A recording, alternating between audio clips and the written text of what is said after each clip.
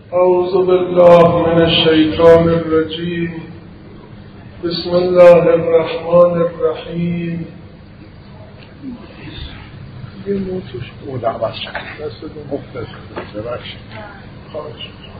الحمد لله رب العالمين والصلاة والسلام على سيدنا ونبينا أبي القاسم محمد.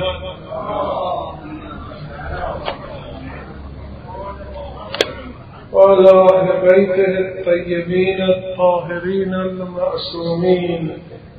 واللعنة الدائمة على أعدائهم أجمعين. من الآن إلى قيام يوم الدين. قال الله تعالى في كتابه الكريم هل ينظرون إلا أن يأتيهم الله في زلل من الغمام والملائكة وقضي الأمر وإلى الله ترجع الأمور. آیه دویست و ده از سوره تلاوت کرد خدای را سپاس می‌گوییم که در این ازاخانه حسینی توانستیم برای شما یازده آیه از آیات قرآن را با آیهی که انشاءالله امروز می‌خوانیم بخوانیم و معنا کنیم. آیه شریف بیانی است برای جمله آخر آیه قبل. در آیه قبلی فرمود فَإِنْ زَلَلْتُمْ من بعد ما جاءتكم البینات اگر شماها لغزشی پیدا کردید بعد از اینکه خدا راه روشن و واضح و با دلیل روشن و واضح مطالب رو برای شما گفته است فاعلموا ان الله عزیز حکیم بدونید خدا عزیز است یعنی ذات پروردگار غالب غیر و مغلوب است و حکیم. آیه امروز ما متضمن وعیدی است که مردم دست از اناد و لجاج بردارند. توجه میفرمایید. دارد میترساند خلق خدا را. این آیه امروز. و بیان می کند که خدا چگونه عزیز است و حکیم است. تا مردم دست از لجبازی و اناد خودشون بردارند و مطابعت شیطان را ترک کنند و داخل در سرات مستقیم الهی بشوند. آیه این معنا را به بهترین وجه بیان می کند حالا آیه رو می‌خونم برای معنا می‌کنم. ببینید چگونه میگد ان الله عزیز حکیم. میفرماید هل ینظرون. هل خیلی خوب. استفهامه لکن شما می‌دونید ما چند قسم استفهام داریم. یه استفهام سوال کردنی داریم که شما واقعا دارید سوال می‌کنید پرسش می‌کنید. یه وقت یه استفهامی داریم بهش میگن استفهام انکاری. یعنی شما نفی را انکار را در قالب سوال طرح می‌کنید. میگید که مگه می‌تواند این کار رو بکنه یعنی نمی‌تواند. اینو بهش میگن استفهام انکاری به معنای نفیه. یعنی آیا اینا جز این منتظرند یعنی جز این منتظر نیستند هل ینظرون؟ ینظرون نظر است. لکن ماده نظر به معنای نگاه کردن به معنای انتظارم آمده است. توجه می‌کنید؟ شما تو فارسی هم دارید. یه وقت میگید فلانی نگاه می‌کنه. یه وقت میگون نگاه کن ببین چطور میشه. این دیگه یعنی نه الان نگاه کن یعنی در آینده این اتفاق میفته در عرب هم همین هست. و اینجا به معنای نظر نگاه کردن به معنای انتظار است. یعنی اینا ینظرون یعنی اینا انتظار می‌کشند. هل ینظرون یعنی اینا انتظار نمی‌کشند. چون گفتیم استفهام انکاری است. اینا منتظر نیستند الا ان یأتیهم الله. مگر اینکه خدا بیاد. خب اینا خدا رو قبول نداره. یعنی پس انتظار می‌کشند مگر اینکه خدا بیاد یعنی چی؟ آه. نه اینکه خدا بیاد. ببینید ما تو قرآن داریم و جا ربک و الملک صفا. صفا. یعنی خدا اومد. یعنی امر پروردگار. خدا ببینید آمدن و رفتن. مال من شماست که جسمی. جسم عالم ماده میاد میره. یه رو به دنیا آمدیم یه رو میمیریم یه روی هم توی مجلس. فردای مجلس تمام دیگه نمیاد. تمام شد. آمدن و رفتن مال ما هاست که جسم نیست. خدا که جسم نیست. خدا حاضر و ناظر است. در کجا؟ در همه جا. ذات حق احاطه به تمام هستی دارد. خیلی خوب. پس وقتی میگه و جا ربک یعنی جا امر ربک. یعنی امر پروردگار میاد. نه خود پروردگار. خود پروردگار که اومدن ندارد که خدا همه جا هست. کجا نیست که بخواد بیاد.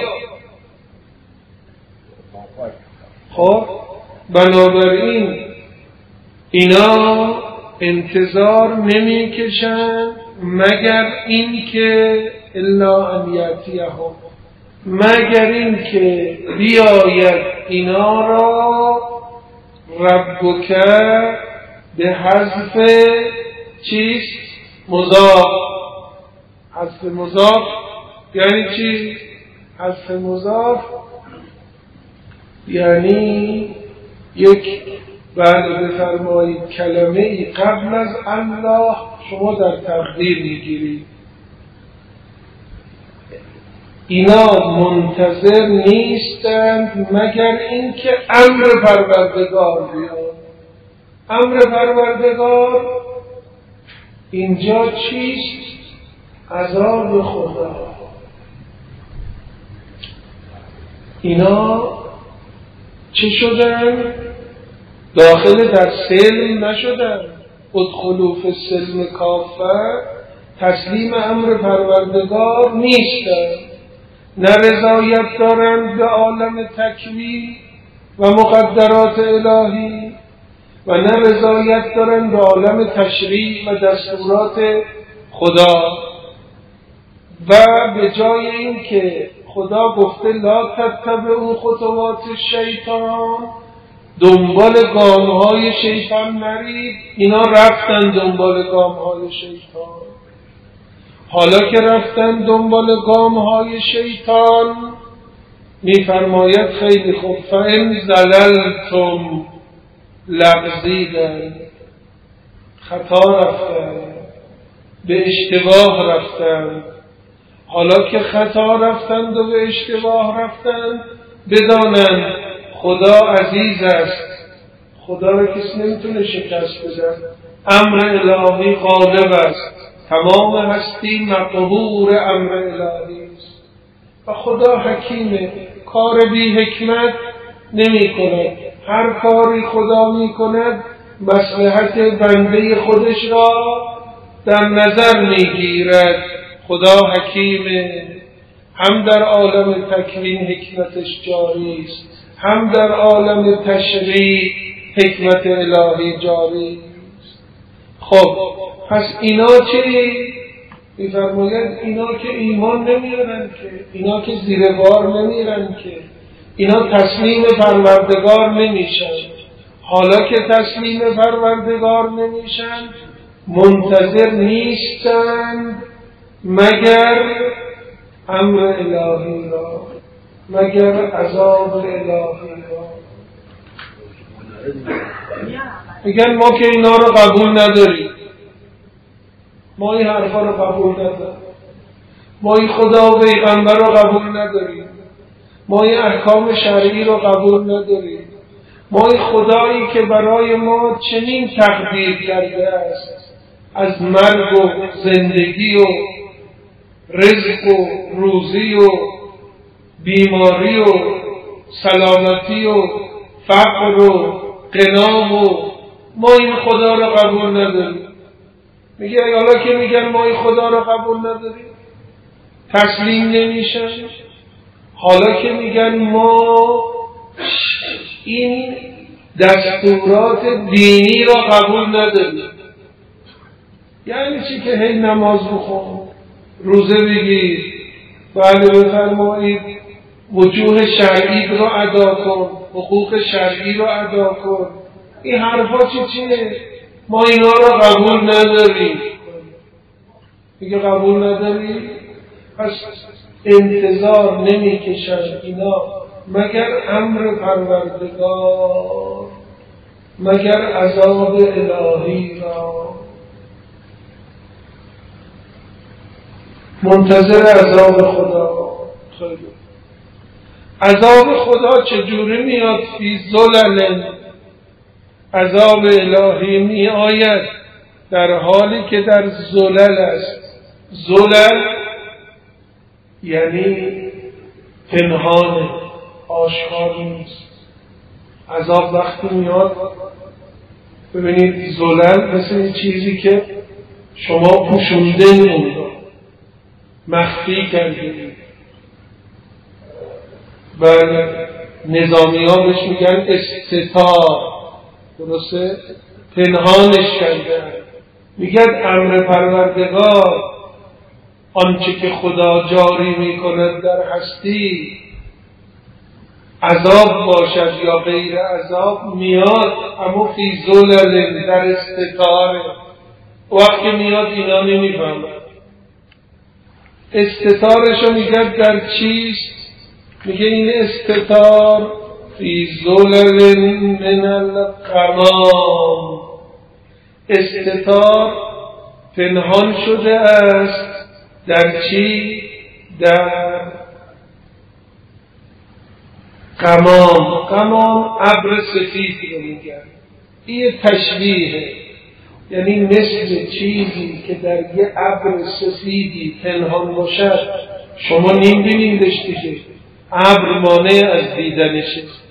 میگه این امر پروردگار این عذاب الهی هم که بخواد برای اینا نازل بشه این عذاب مستوره پنهانه مثل چیزی که تو ابر پنهان باشد اگه شیعی توی ابر پنهان باشه خب شما نمی‌دونید دیگه ابر ابر آسمون ابر سفید.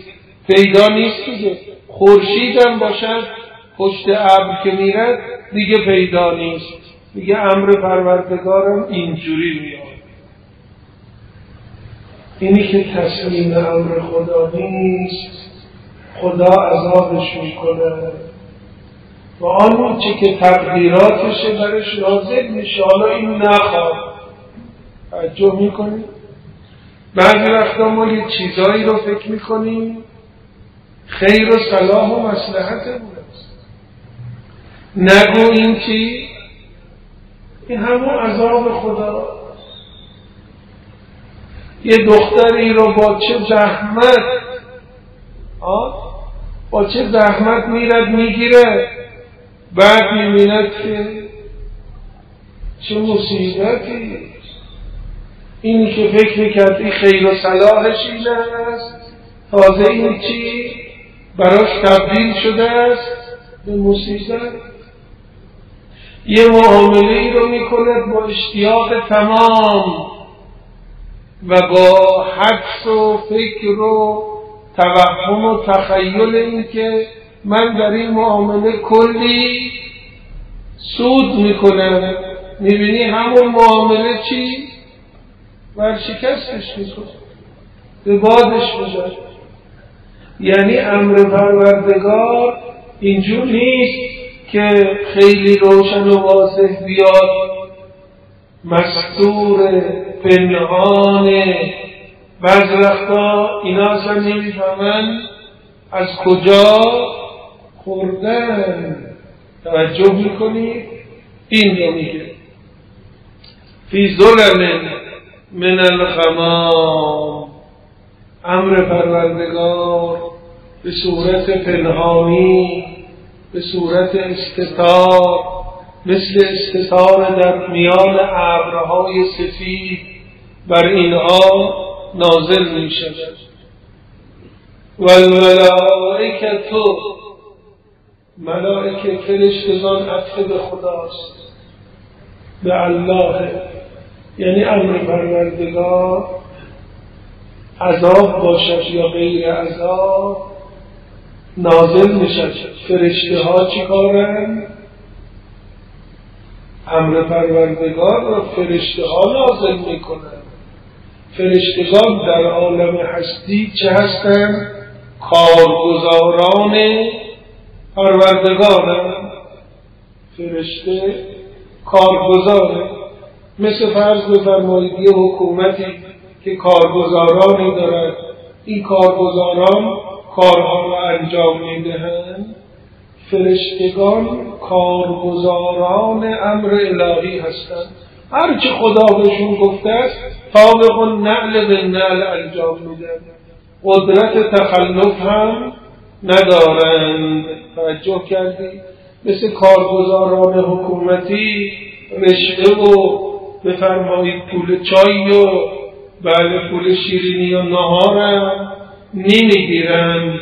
آنچه که خدا به اونها دستور داده است همون رو طابق به نعل انجام میدن و قدرت تخلف ندارن. فرشته غیر من شما انسانه. به من شما انسان خدا گفته نماز بخون. یه عده صبح بلند میشن نمازشون رو می‌خونن. یه عده چی؟ تا لنگ زور خوابن نماز نمی‌خونن به این میگن امر تشریعی. در امور تشریعی ما انسان ها اختیار داریم. می‌تونیم انجام بدیم می‌تونیم انجام ندیم.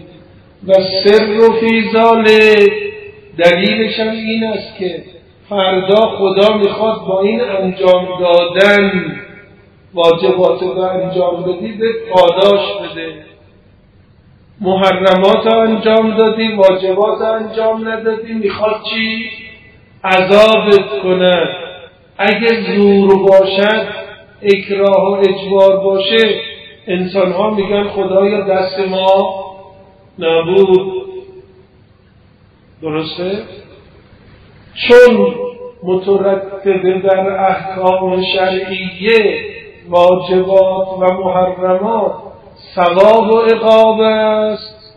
انسان آزاد است یعنی اختیار دارد. می‌تواند انجام بده میشه عبد مطیع. می‌تواند انجام نده می‌شد چی؟ می‌شد عبد گریز پای فراری. خیلی خوب. اگه شد عبد مطیع خدا بهش چه میدن؟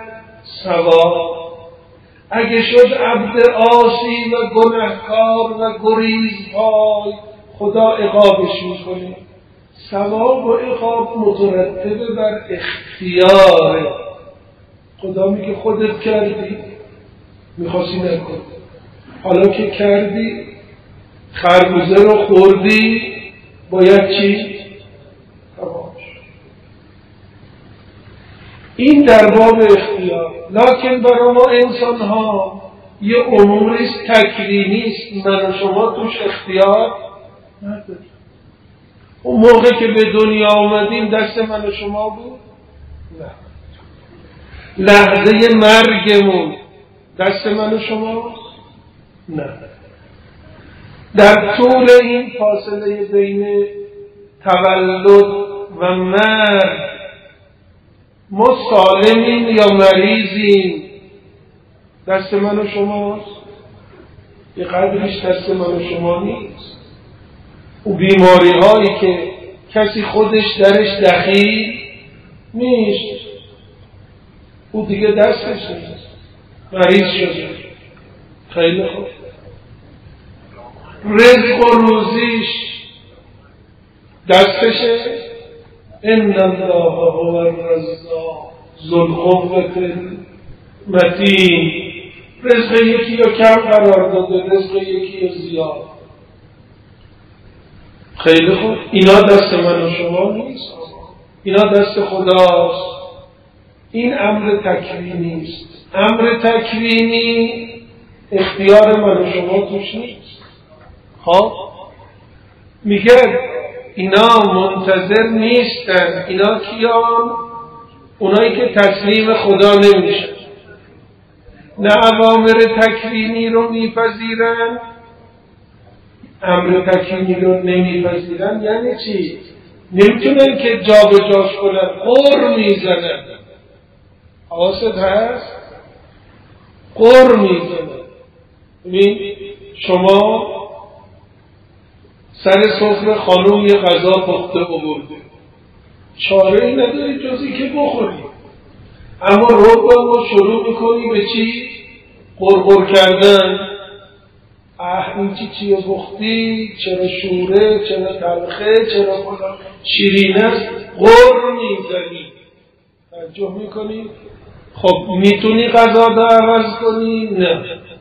چیزی تو دیگه تو خونه نیست. مجبوری رو داستان اینا که تسلیم امر تکوینی خدا نمیشن امر تکوینی جاری است من و شما درش دخالتی نداریم. نمی‌تونیم تصمیم بگیریم.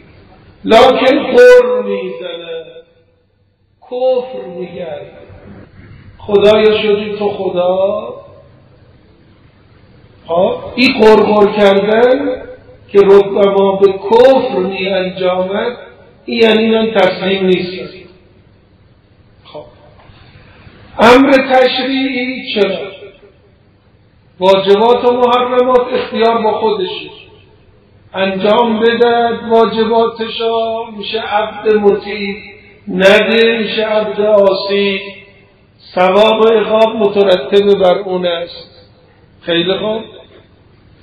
میگه اینا انتظار نمی‌کشند کسانی که تسلیم امر پروردگار نیستند و دچار لغزش میشن اینا انتظار نمی‌کشند مگر امر پروردگار عذاب الهی را. امر خدا و عذاب خدا بر اینا نازل می شود در حالی که پنهانه مثل شیعی که داخل ابر سفید پنهان باشد و دیده نمی‌شد و الملائکت فرشتگانی که کارگزاران خدا هستند که امور را چه کنند بیارن و انجام بدن میان و انجام می‌دهند. و قضی الام قضی الام فارسیشو برای شما بخوام بگم. یکی به شما میگه که بله برا مریض فلان کارو بکن میگی چی؟ کار تمام شد کار تمام شد یعنی چی؟ کار تمام شد یعنی یا بیمارم خدا شفا داد پس بنابراین دیگه احتیاج این دارو و درمان شما ندارد خوب شد. الحمدلله خوب شد. که انشاءالله خدا همه مریض ها رو شفا بدهد خیلی خوب. این یکی. میگی خوب شد. الحمدلله. یا خدای نکرده بیمار تمام کرده. جان به جان آفرین تسلیم کرده. میگی تموم شد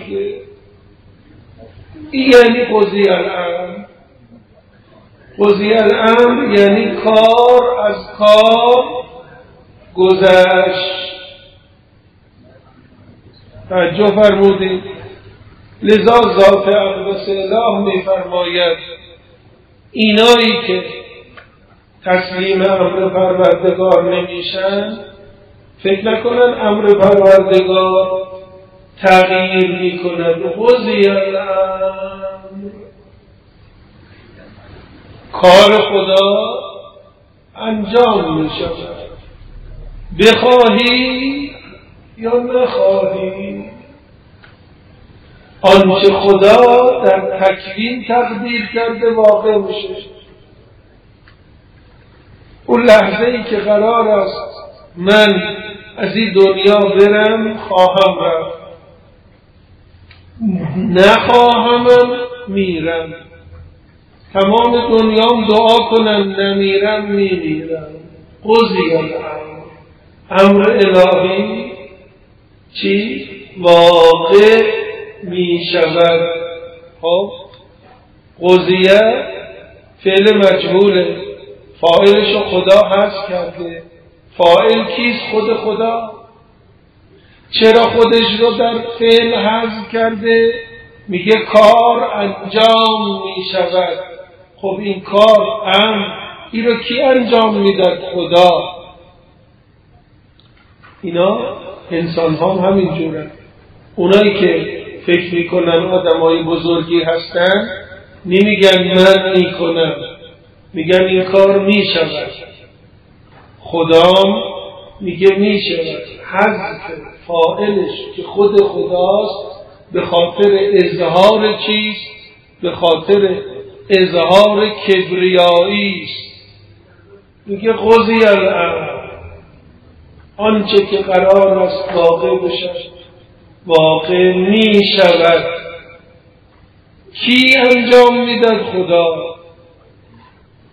فرشتگان الهی هم مأموران الهی هم کارگزاران الهی هم دستور الهی را انجام میده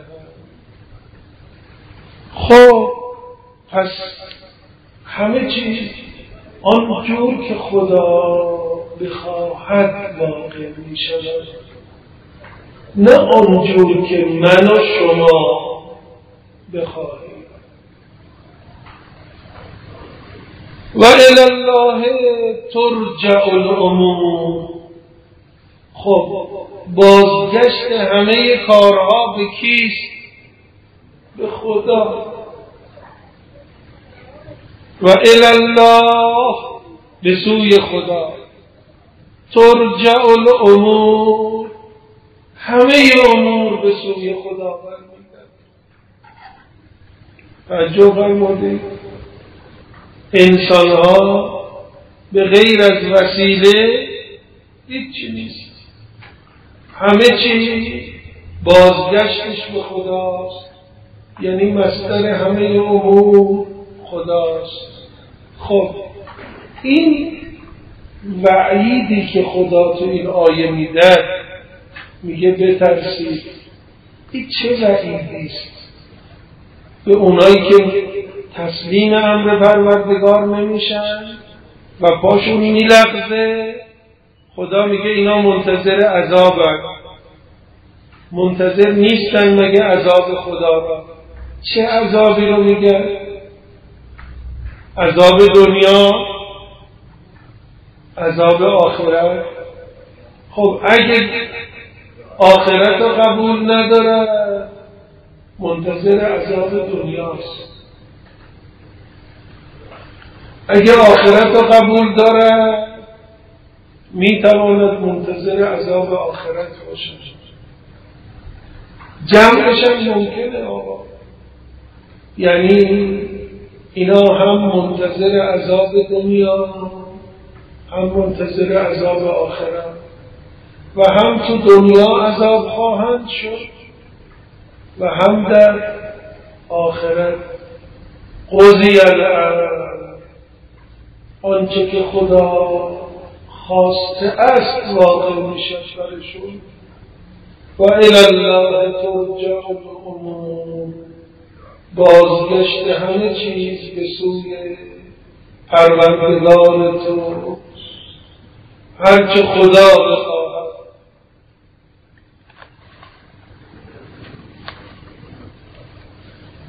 خانومش یه آبگوش پخته بود. برا زور نهار آمد. از زنش پرسید چه داری؟ نهار گفت یه آبگوش بار گذاشتم. گفت حالا که آبگوش بار گذاشتی پس زور نهار آبگوش می‌خوریم. گفت حاجی بگو انشاءالله. گفت انشاءالله که ندارد که آبگوش که روباره. من و شما که اینجا کنار هم نشستیم. خب زور که شد چیکار می‌کنیم؟ آبگوش رو می‌کشیم میاریم می‌خوریم دیگه. انشاءالله دیگه چی چی؟ زنی گفت حاجی بگو انشاءالله. گفت انشاءالله نداره. پیش از دور سکته کرده حاجی بردنش بیمارستان با آمبولانس. او آبگوشت سر چراغا نقل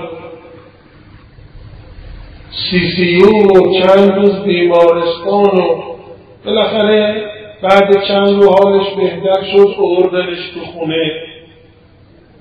خب از این به بعد هر کاری می‌خواست بکنن می‌گفت چی؟ انشاء می‌گفت که دوباره نگم انشاء سر کار را میفتن به سی سی او.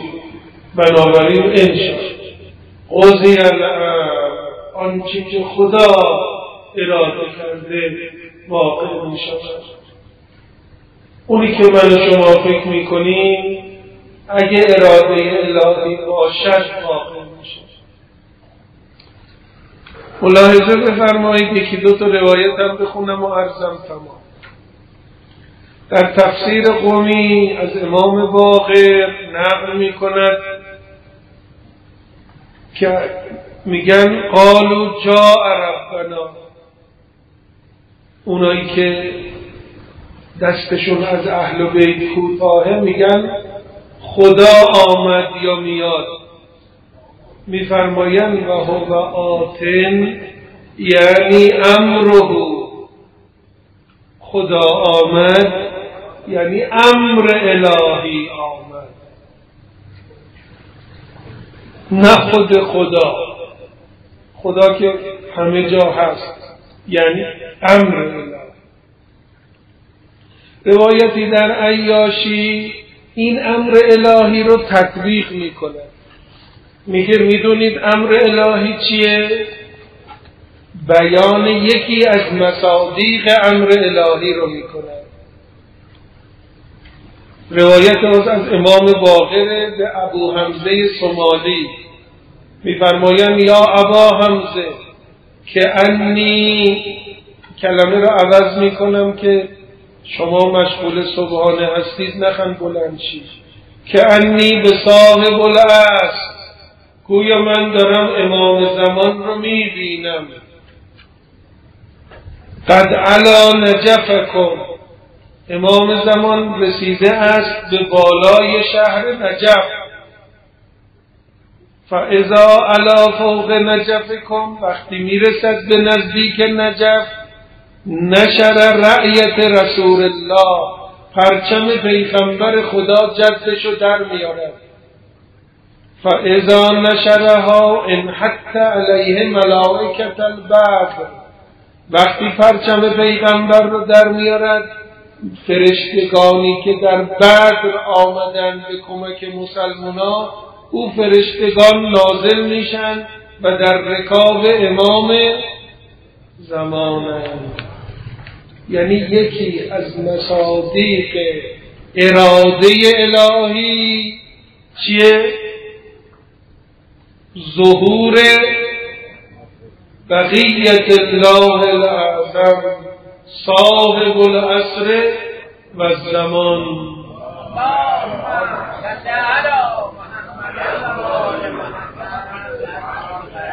باز عیاشی از جابر از امام باقر زید همین آیه قضی الامر میفرمایند ینزل فی سبع قباب من نور. امام زمان وقتی نازل میشن در هفت تا ابر سفید رنگی است. لا یعلم فی ایها. کسی نمی‌دوند لا یعلم فی ای کسی نمی‌داند تو کدوم یکی از ایناست. دور تا دورش مثل ابر سفید رنگه ابرا رو مردم می‌بینن. اما نمی‌دونن تو اولیه تو دومیه تو سومیه. و هو حین ینزل فی زهر کوفه. فهازا ینزل این مال اون وقتی که می‌رسن به پشت کوفه. حرکتشون اینجوریست در جا میفرمایید یعنی امام زمان ظهور و نزولش قطعی است. اما مادام که دشمنان حضرت هستند باز حضرت نازل شده اما فی صبر قبا در هفت تا چی ابر مستوره تا کسی ندوند امام زمان تو کدومشه؟ تا بخوان چیکارش کنن از بینش ببرن بله. خب پس یکی از بفرمایید که اوامر الهی و آنچه خدا مقدر کرده است ظهور و بروز صاحب العصر و زمان بقیت الله اعظم است. لذا آیه تطبیق شده است به ظهور امام زمان بله درست هم هست. یکی از مصادیق امر الهی قطعا ظهور و بروز صاحب العصر و زمان است. بس دیگه. خب این دهرو اینجا خدمت شما بودیم و به حمدالله چند آیه قرآن خوندیم و تمام شد. ماه سفرم که تمام شد به حسب نقل رویت هلال دیشب در گزارش ها بود که تو خود اصفهان و شهرزا رویت هلال شده است بدون چشم مسلح. تو گزارش های رویت هلال. پس بنابراین این روز اول ماه ربیعه خب روز اول ماه دو سه روز است که رسول خدا از دنیا رفته لکن ظاهرا آنچه که در فاطمه زهرا سلام الله علیها واقع شد در همین روزهای بعد از ارتحان و شهادت رسول خدا. حالا ما روز دقیقش رو نمی‌دونیم. اما در روزهای بعد پیغمبر است.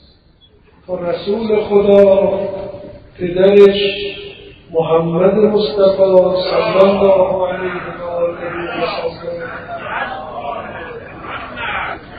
زنده است. روزها روزهای عزت فاطمه همه احترام می‌گذارند. همه تجلیل می‌کنند.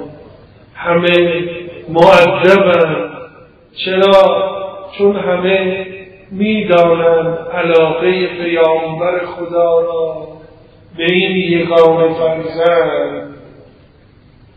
اما بعد پیغمبر یه مرتبه ورق برمیگرد اوضاع یه اوضاع دیگه میشه یه وقت کار به جایی می‌رسد که یه تعداد رجاله یه تعداد بیهویت اینا میرزن در خانه فاطمه زهرا.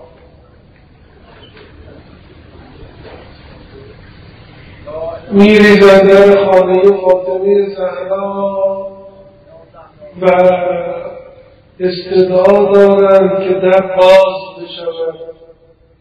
وقتی در باز نمی‌شد پیشوای اون رجاله ها بزرگترشون میگن اگه در رو باز نکنی خانه را با همه اونهایی که در خانه هستند به آتش می‌کشد. در باز کنید می‌دونی فاطمه زهرا سلام الله علیها چرا تشریف آوردن دم در؟ آمدن زهرا دم در به خاطر همین است. چون دیدن این نارجی می‌خواد خانه و من فل خانه و هر که تو خانه است آتش بزنه. اون وقت تو خانه فاطمه کیش؟ علی مرتضا حجت خدا حسن و حسین. دو تا حجت خدای بعد از امیر المومنین اینا تو خانه. فاطمه زهرا آمد پشت در. گفت کسی که میگی خانه را آتش می‌زنم می‌دونی خانه من فاطمه است. می‌دونی من فاطمه توی خانم. من دختر پیغمبرم که چند روز از دنیا رفته. می‌دونی جواب چه داد گفت و این گفت حتی اگه فاطمه تو هم اینجا باشی خانه را آتش دستور داد هیزم بیارم در رو به آتش کشید وقتی در به حالت نیمه سوخته در آمد فاطمه زهرا داشتن با حرف می‌زدن نصیحتش می‌کردن خانه خانه من است من دختر پیغمبرم چیکار داری می‌کنی وقتی در به حالت نیمه سوخته قرار گرفت زهرا دید اینا در نیمه سوخته است می‌خوان وارد بشن. فاطمه زهرا خودش رو پشت در قرار داد. چرا؟ مرحوم آشمان حسین میفرمایند رعایتا لستر و لحجابی زهرا به واسطه تحفظ و حجاب و سطرش پشت در رجاله ها زهرا را نبینند. نامحرمانی که وارد خانه میشن حجم بدن فاطمه دختر پیغمبر رو نبینن. پشت در قرار گرفت. نانجید وقتی در رو باز کرد دید زهرا داخل خانه نیست فهمید پشت در است. دارد که چنان در رو فشار دادم که صدای خرد شدن استخوانهای سینه زهرا.